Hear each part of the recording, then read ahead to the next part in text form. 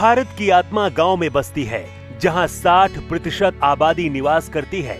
लेकिन अधिकांश ग्रामीणों के पास अपनी आवासीय संपत्ति के कागजात नहीं हैं। अंग्रेज़ों के समय से देश के ग्रामीण क्षेत्रों की भूमि का बंदोबस्त होता रहा है। लेकिन अधिकांश राज्यों में गाँव की आबादी क्षेत्रों का सर्वे और मापन संपत्ति के सत्यापन के दृष्टिकोण से नहीं हुआ है।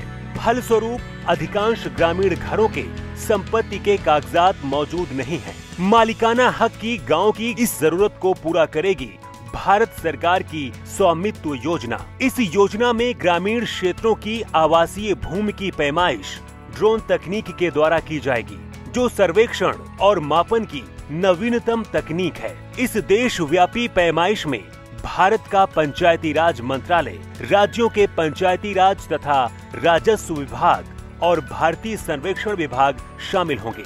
ड्रोन से गाँव की सीमा के भीतर आने वाली प्रत्येक संपत्ति का डिजिटल रूप से नक्शा बनाया जाएगा। साथ ही प्रत्येक राजस्व खंड की सीमाओं का निर्धारण किया जाएगा।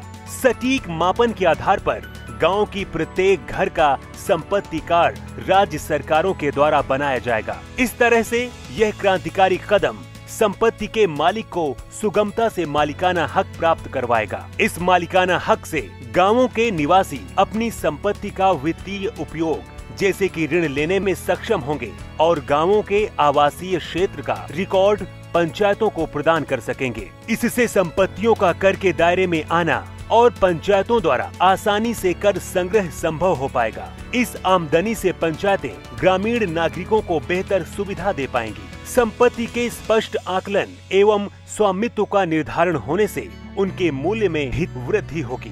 ड्रोन सर्वेक्षण तकनीक के उपयोग से ग्राम पंचायत के पास गाँव का सटीक रिकॉर्ड और मानचित्र होगा, जिसका उपयोग कर वसूली में भवन निर्माण हेतु परमिट जारी करने में अवैध कब्जा समाप्त करने आदि के लिए किया जा सकता है। हमारा देश बदलते समय के साथ कदम से कदम मिलाकर उन्नत तकनीक का भरपूर उपयोग करते हुए विकास के मार्ग पर लगातार आगे बढ़ रहा है। सशक्त पंचायतों से ही सशक्त भारत का निर्माण होगा।